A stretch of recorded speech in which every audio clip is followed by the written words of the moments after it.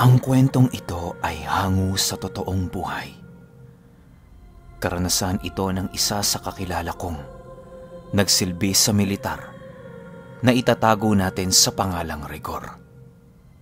Taong 1995, Coronadal, South Cotabato.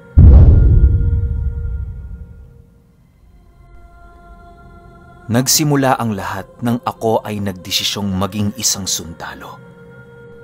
Dahil simula nung bata pa ako, ay talagang pangarap ko na ang maging isang sundalo. Kagaya ng aking ama at ina.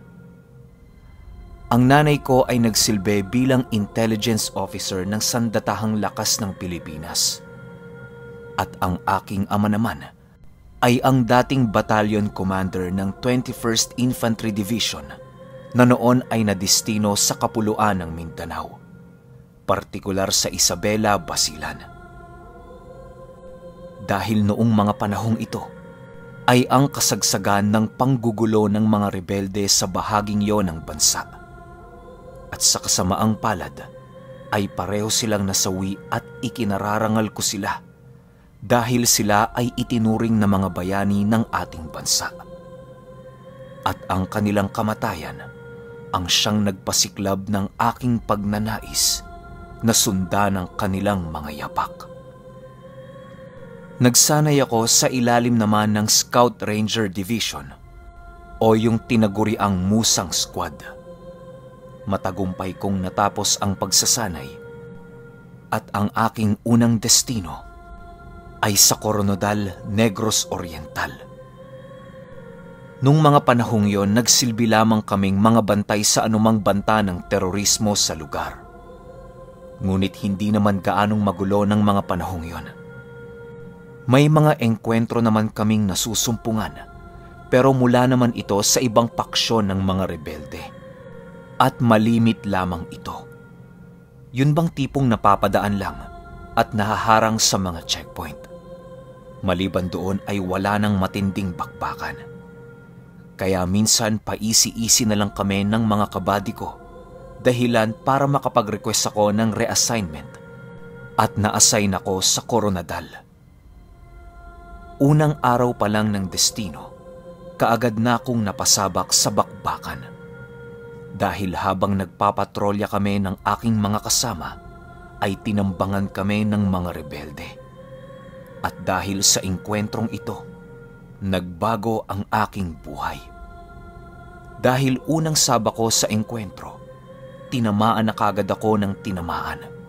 At alam ko sa sarili ko na yun na ang huling sakit na mararamdaman ko. Dahil direktang puso ang tama. At ramdam ko na unti-unting tumatakas ang aking ulirat. Alam ko na sa sarili ko nakatapusan ko na. Asar, di pa nga ako nagsisimula, mamamatay na ako. Wika ko sa sarili ko habang nagdidilim ang aking paningin. Ngunit laking gulat ko nang magising ako dahil may kung anong maliwanag na bagay ang tumatama sa mga mata ko. Oh, mabuti naman at gising ka na. Wika ng boses ng isang matanda. Agad akong napabalikwas at dali-daling hinanap ang aking baril. Ngunit hindi agad ako nakabangon dahil nakaramdam ako ng matinding sakit sa aking dibdib. Huwag ka munang pumangon.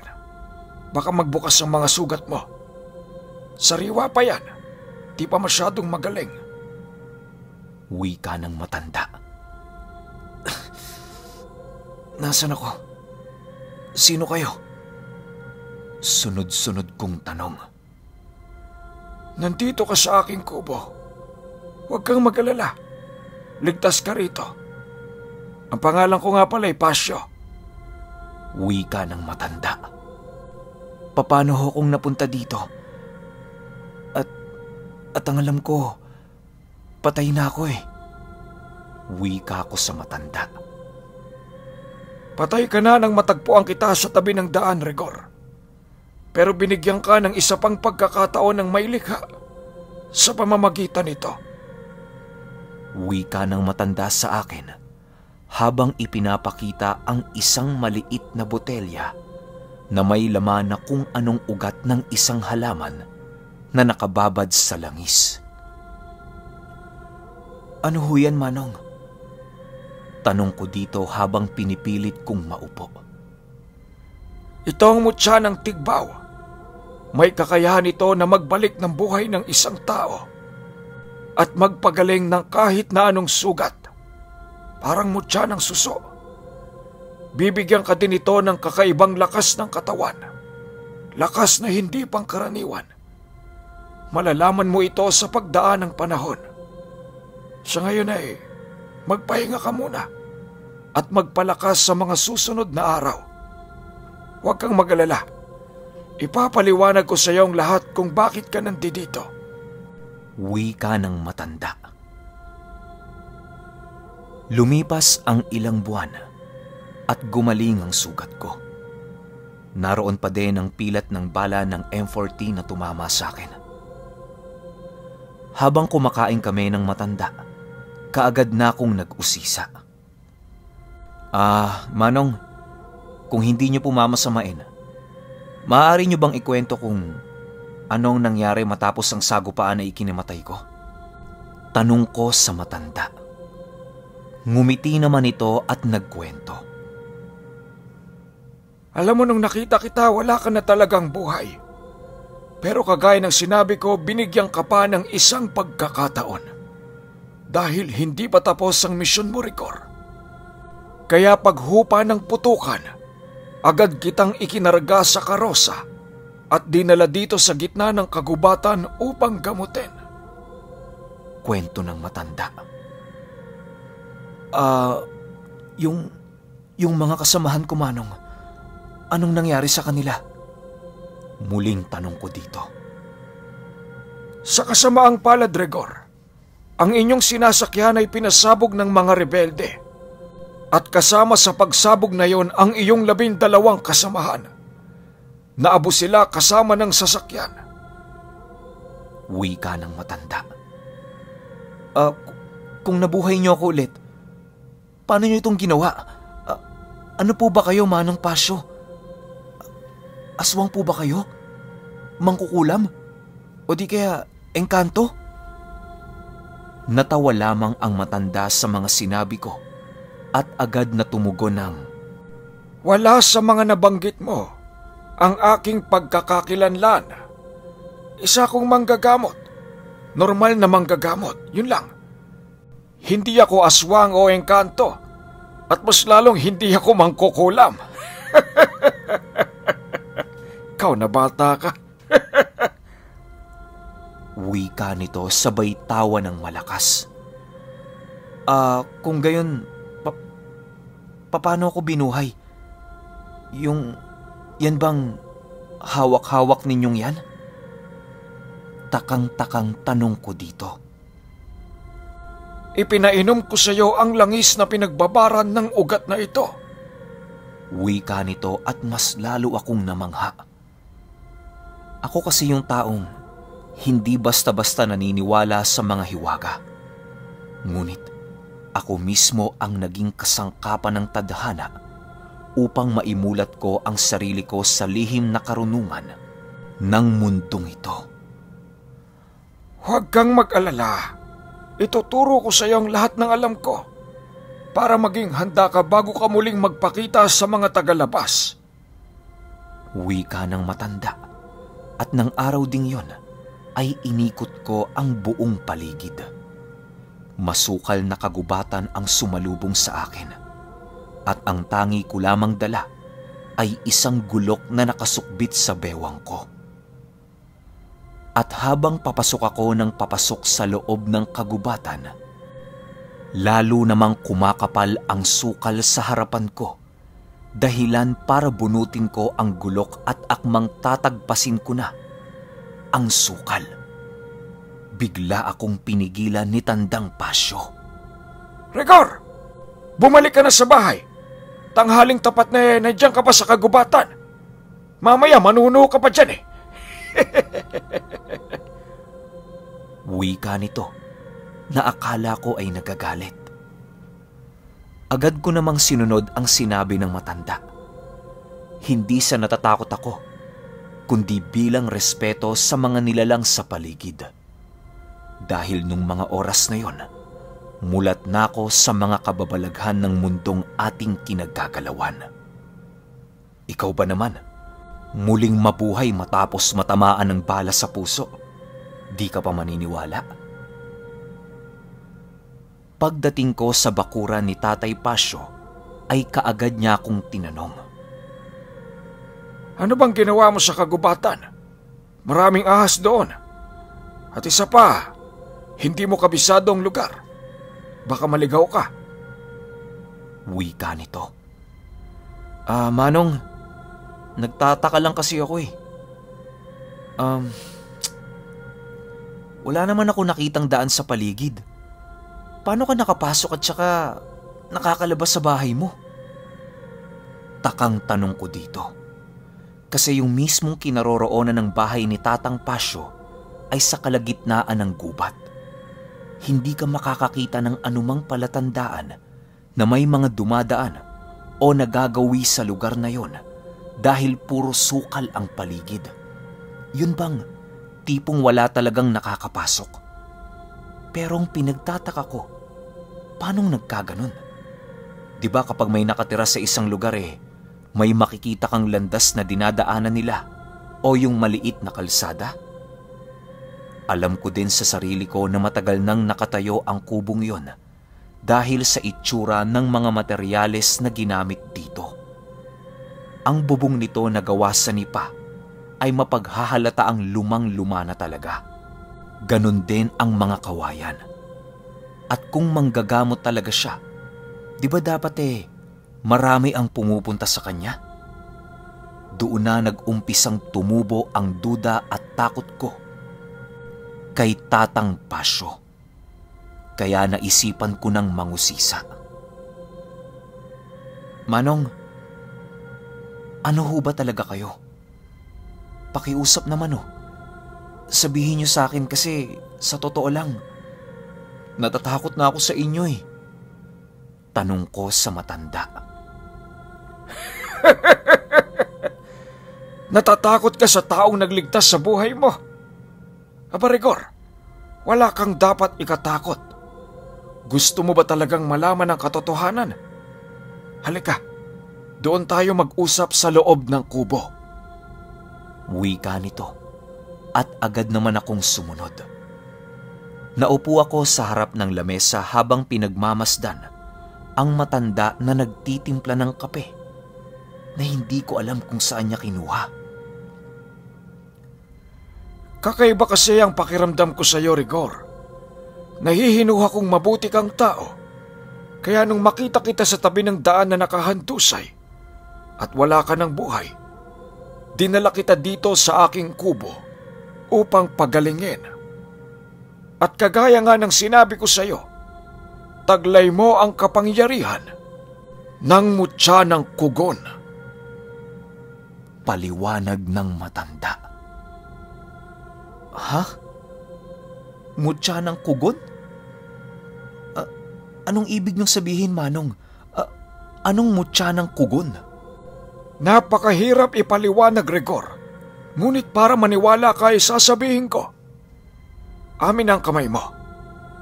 Wika ng matanda at inilahad ko naman ang kamay ko sa lamesa. Laking gulat ko nang bigla niya itong hiniwa ng kutsilyo. Put! Manong eh! Bakit mo hiniwa? Gulat na tanong ko. Ano? Nahiwa ka nga ba? Patingin. Tanong ng matanda na may mapangutsang tono. Inilahad ko ulit ang aking kamay. Meron itong dugo pero nang punasan ko ito gamit ang aking kabilang kamay, nanlaki ang mga mata ko dahil wala itong sugat. Pero alam ko sa sarili ko at ramdam ko ang hapdi nang hiwain ito ni Manong Pasyo. Anong nangyari? At pa- paano nawala ang sugat ko, Manong? Takang tanong ko dito. Ang katawan mo ngayon, Rigor, ay kahalintulad na ng kugon. Gapasin man, sunugin man, o kahit bungkalin man, hanggat nakalapat sa lupa ang ugat nito, ay hinding-hindi ito mamamatay. At ang dahilan ko kung bakit kita piniling mabuhay muli at pagkalooban ng ganitong kapangyarihan, upang pigilan mo ang grupong kung tawagin nila ay mga ligaw na talahib. Kagaya mo din sila ng kakayahan, katulad mo na ako din ang may kaloob. Ngunit naligaw sila ng landas at ginamit sa kasamaan. Ang pangkat na ito ay kasapi na ngayon sa mga rebelde. Wika ni Manong Pasyo. Pe- pero bakit ako Manong?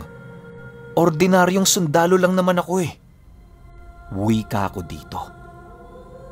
Alam ko sa sarili ko, Rigor, na may taglay kang kabutihan at nasa dugo mo ang pagiging matulungin sa kapwa. Mabait kang tao at likas sa iyo ang pagkamaunawain.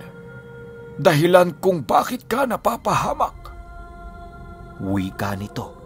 Nalubha kong ikinagulat dahil alam niya kung bakit ako tinamaan ng bala. Hinarang mo ang mga bala na dapat ay sa kasama mo. Dagdag ni Manong Pasyo. Te- teka, pa- paano niyo po nalaman, Manong? Nandun ba kayo? Takang tanong ko dito. Oh, nandun ako sa pinangyarihan ng barilan at nakita ko ang lahat ng pangyayari at ang ginawa mo. Kaya tsak ako na hindi ako nagkamali sa naging pasya kong tulungan ka. Wika nito. Pero, Manong matanong ko lang, ilang buwan na ba ako dito? Tanong ko sa matanda na agad namang ngumiti. Isa't kalahating taong ka nang nandidito. Tulog ka ng ganon kahaba, Rigor. At ang alam ng pamahalaang pinaglilingkuran mo, eh, patay ka na.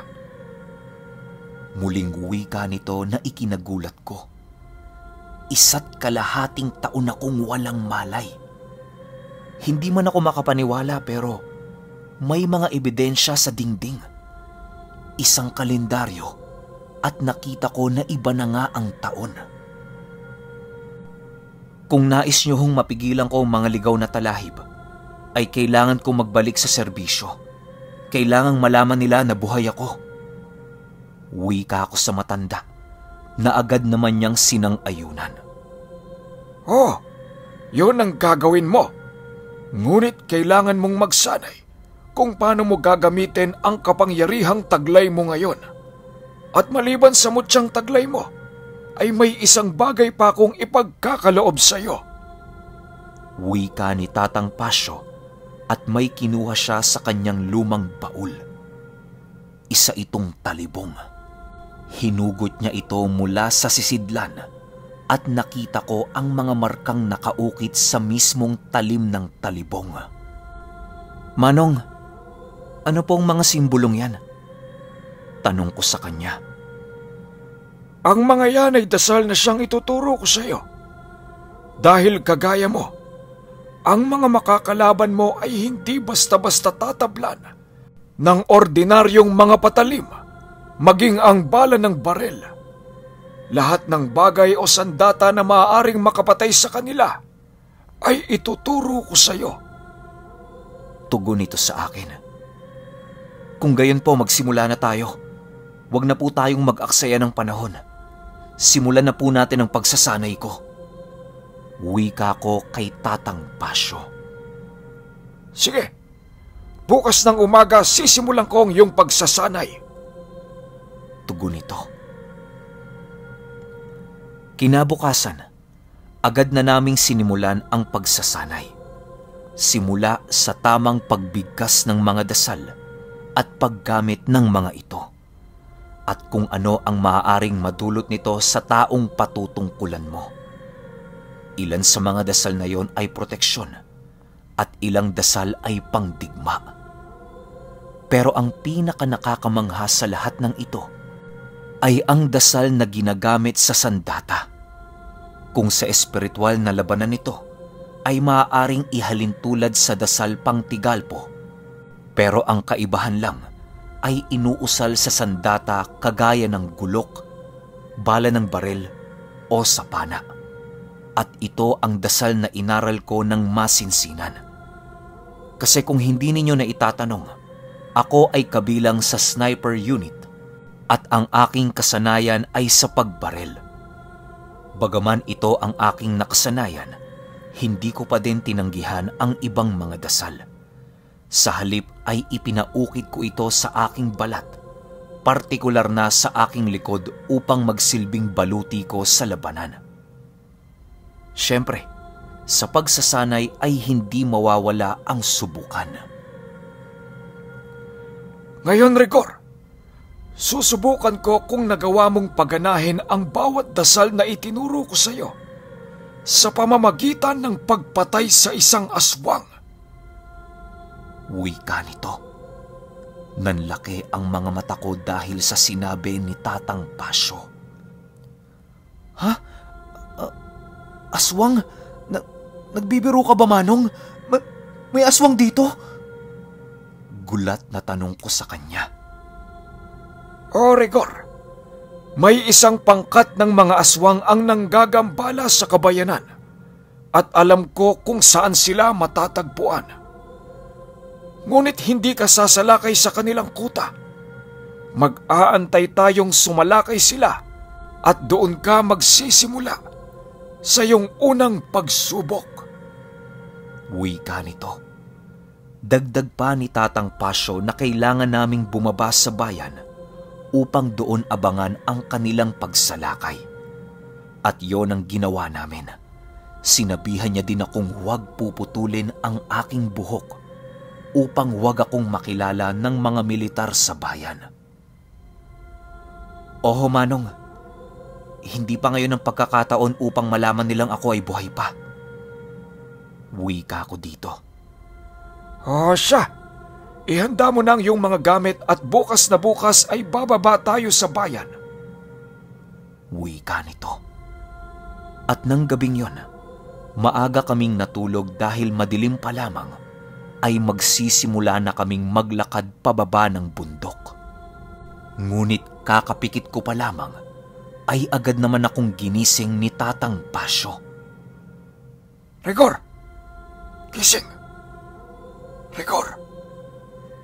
Pabulong nitong tawag sa akin. Uh, ba- bakit ho? Tugon ko dito na medyo napalakas. Huwag kang maingay. Sumilip ka sa dingding.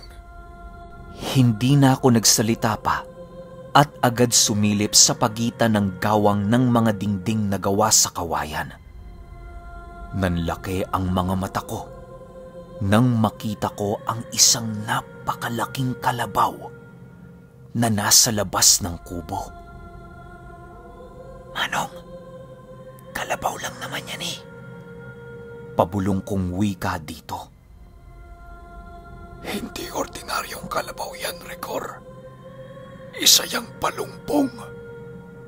Mukhang mapapaaga ang pagsubok mo, bata pabulong na wika ni Tatang Pasyo. Para sa mga hindi nakakalam kung ano ang balumbong, ito ay isang uri ng engkanto na nahahawig sa kalabaw. Ngunit meron itong apat na sungay. Dalawa sa magkabilang bahagi ng ulo nito at may nag-iisang napakalaking mata sa noo. Matutulis din ang mga buhok na tumutubo sa batok nito na animoy mga karayom na kulay itim. At ayon kay Tatang Pasyo, ang nilalang na ito ay may taglay na mutya na maaaring mapasakamay ng taong makakagabi dito. Bagay na nakapukaw ng aking interes kung kaya sinabi ko kay Manong na haharapin ko ang nilalang.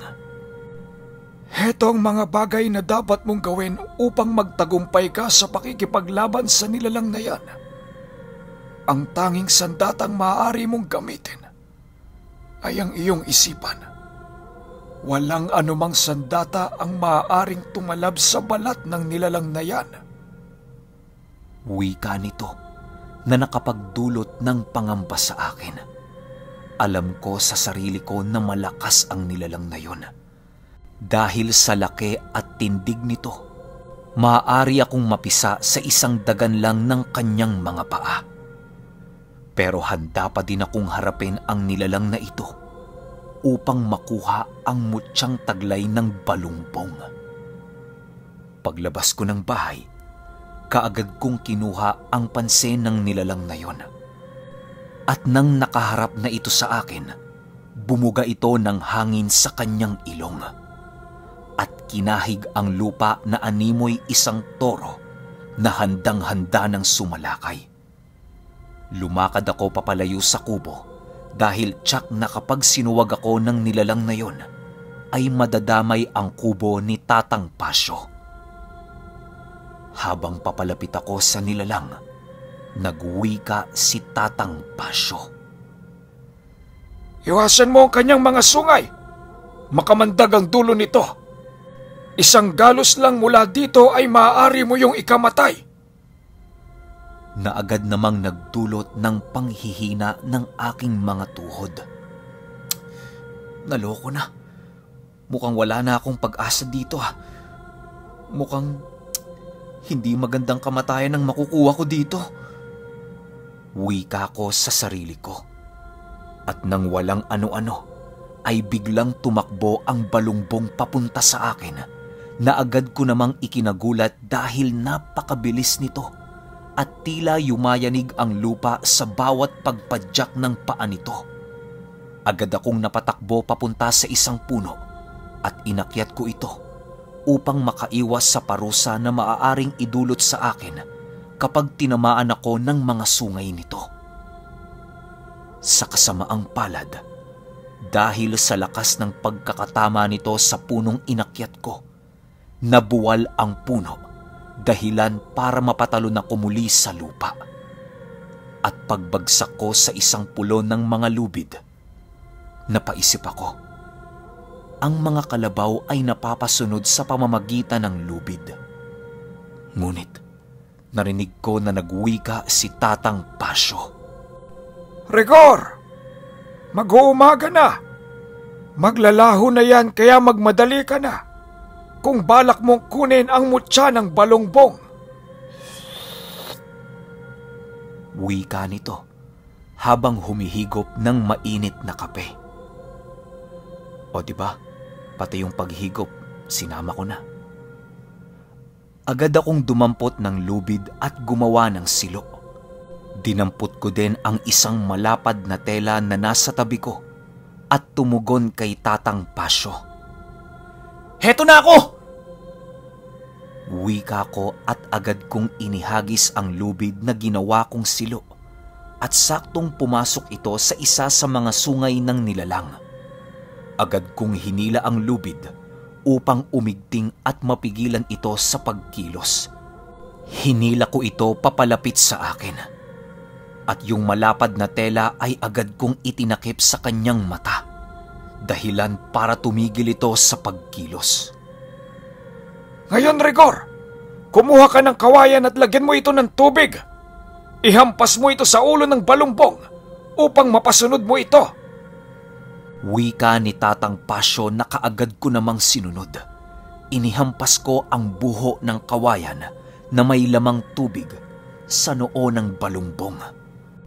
At matapos kong gawin yon ay agad itong lumuhod sa aking harapan. Nanayo ang mga balahibo ko nang marinig ko itong magsalita. Nanalo ka. Mahusay ang iyong ginawa. At simula ngayon ay kikilalanin na kitang Panginoon. Tawagin mo lamang ang aking pangalan at ako ay darating. Wika nito na agad namang naglaho. Napalingon ako kay Tatang Pasyo at nakita ko itong nakangiti din. Okay! Grabe naman tong mutya ng kugon. Sobrang ganda. Isipin nyo, episode 1 pa lang, pero sobrang dami nang nangyari. Tapos may pupuntahan pa siyang, ano, ang kanang mga aswang, tapos kakakuha niya lang ng mutya ng balongbong. Ang malupit pa na banggit yung mutya ng suso. Grabe, nakakilabot. Pero, syempre, alam niyo naman, kailangan natin putol-putulin kasi lugi negosyo kapag isang buo eh. Pero kayong magalala, sisikapin ko na per episode ay 30 to 35 minutes tayo para hindi rin kayo mabitin. Yun lang. Kita-kits tayo sa susunod na episode. Grabe. Sobrang angas nito.